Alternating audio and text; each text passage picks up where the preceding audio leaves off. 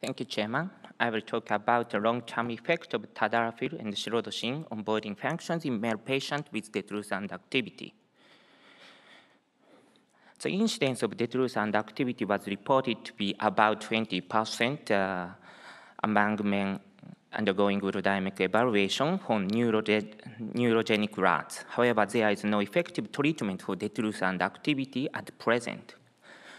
Both alpha-1 blocker and PDE-5 inhibitor are expected to be effective for patients with detrusor underactivity induced by BPH because they increase blood perfusion to the pelvic organs. However, there has been no report on whether they improve detrusor underactivity in clinical practice. So in the present study, we compare the long-term effect of tadalafil and silodosin on storage and voiding functions in patients with detrusor underactivity induced by BPH using the urodynamic studies. 100 untreated outpatients who are diagnosed with detrusor underactivity induced by BPH are randomized to receive 5, 5, 5 milligram tadalafil or 80 milligram silodosin daily for 12 months. At month 12, change from baseline in patient subjective symptom and voiding function were compared between the two groups. In the efficacy analysis, 43 patients from the silodosin group and uh, 48 from the tadalafil group are included. Regarding the change of subjective symptom, although mean IPSS, IPSS-QOL, and OABSS significantly improved in both groups, the improvement in IPSS-QOL in the tadalafil group was significantly greater compared with that in the silodosin group. As a change of dynamic parameters between the two groups, although the mean Qmax significantly improved in both groups, the improvement in Qmax was uh, significantly superior in the tadalafil group.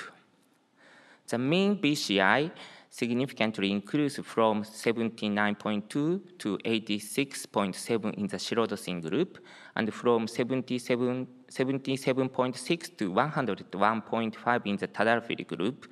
The improvement in BCI was significantly superior in the tadalafil group compared to that in the silodosin group.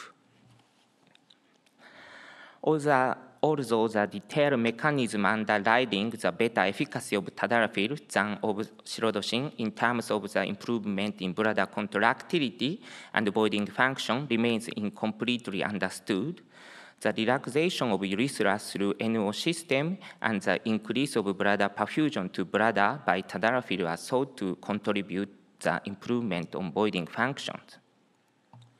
In conclusion, over silodosin significantly improved the RADS in patients with detrusor underactivity induced by BPH during 12 months of treatment. Tadalafil is considered more effective than silodosin for the improvement of bladder contractility and urodynamic voiding functions. Thank you. Thank you very much. Uh, and uh, any questions? Paul? Thank you, Abrams Bristol. Um, you say uh, DU induced by, I assume you mean prostatic obstruction. By BPH, do you mean prostatic obstruction? Yeah, BPH. Uh, so this is inclusion criteria. BPH uh, prostate volume over 25 milliliter higher. So by ultrasonography. Oh, so that's BPE.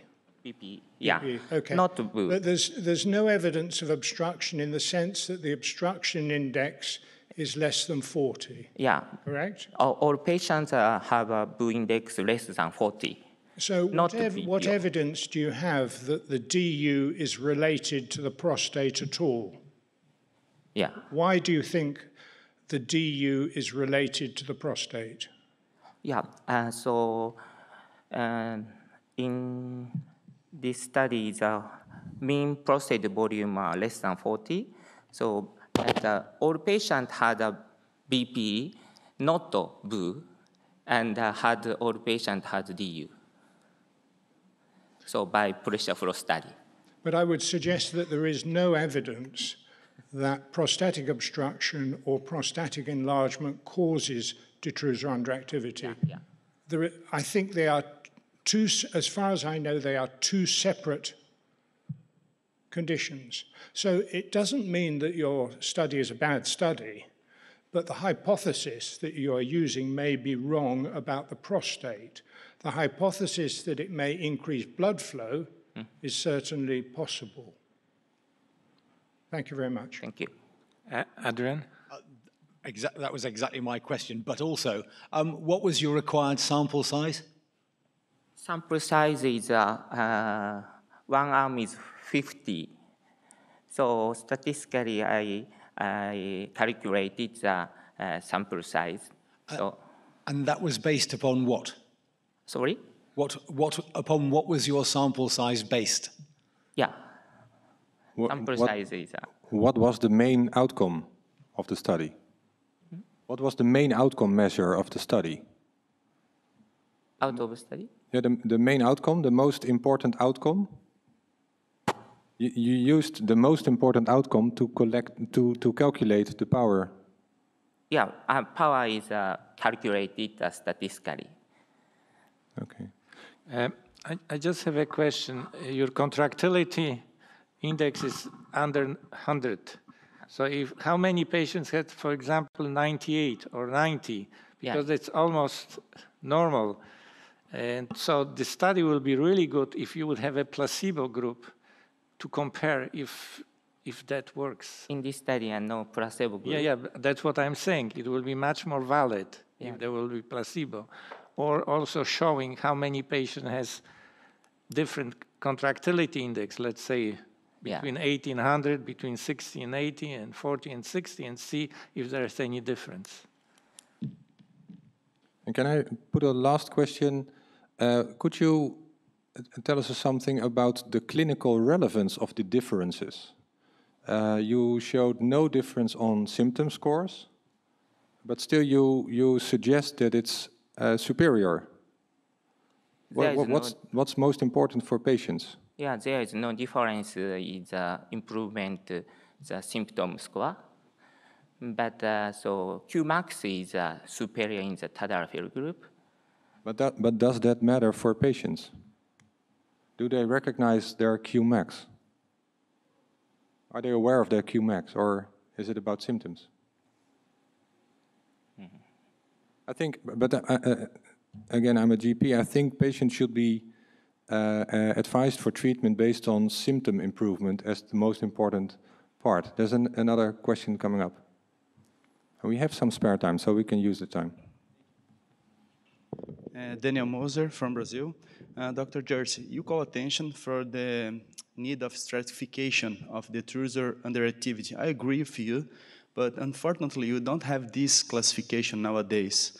Uh, and I agree that we should need, because all the papers that you have on detrusor underactivity use only uh, BCI under 100.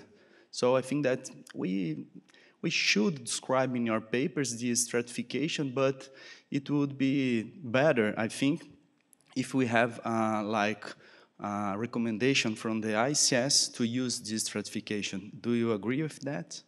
Actually, we need more study from you guys like you to show if there's a difference between. That's why I asked for stratification. Did you see any difference? If you see difference, that means there is some some value in that. I don't know, honestly. Yeah, yeah, yeah. Yeah, I agree. Because when I read the papers, I feel the same feeling. Uh, we need to have this stratification. It's hard how to describe this between 17 and 8, 8 and 90, 90 and 100. So uh, just to reinforce uh, this statement, thank you so much. Then I think we are at the end of this session. Uh, I thank all presenters for their efforts um, and the uh, audience for the questions. A nice discussion, uh, and uh, wish you a pleasant evening. Thank you very much. Thank you.